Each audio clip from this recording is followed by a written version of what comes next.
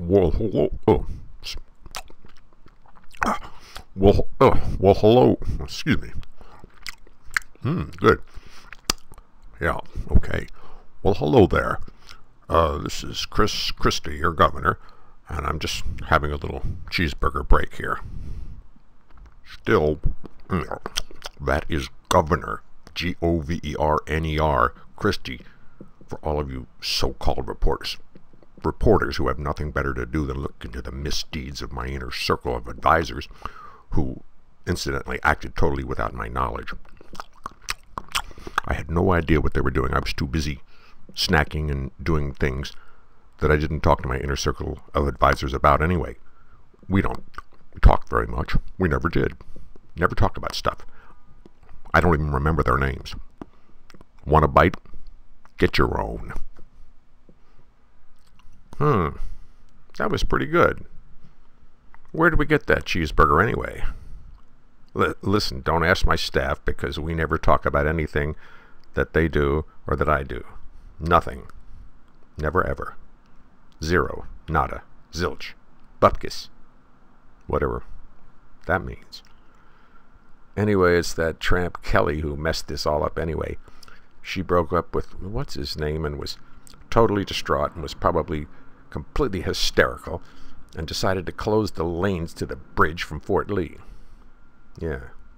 Yeah, that's what New Jersey women do when they've been jilted. They close traffic lanes. Guys in New Jersey know all about this. Oh, don't dump the damer. There will be traffic cones all over your driveway. Yeah. Yeah, that's how it is. Hi, it's me, Bridget Kelly. I'm over here on the right. Tons of fun over there on the left with his trusted associate. What a dresser. Nice bunch. Uh, if you watch my eyes blinking while I talk, you may detect the message scapegoat in Morse code. I'm just saying. But oh, yeah, I acted uh, totally on my own after my breakup with uh, what's his name. Oh, I was so distraught. So distraught that I went to Atlantic City with my girlfriends for three days. Oh, the good times.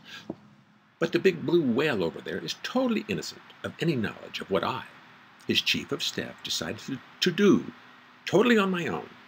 I mean, I'm known for these crazy rogue adventures. Ask anybody, ask everybody.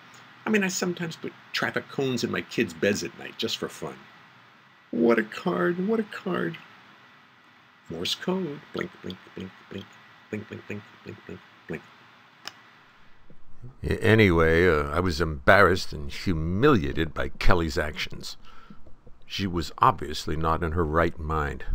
Who knows why, but there are lots of, well, you know, obvious reasons. She surely didn't see any future with me, an overweight ex football player with no political aspirations whatsoever. You know, just a poor, humble Jersey guy trying to do the right thing with a staff that never tells me anything. Nothing. Nothing. Nothing. Nothing. I've been betrayed. Nothing. Oh.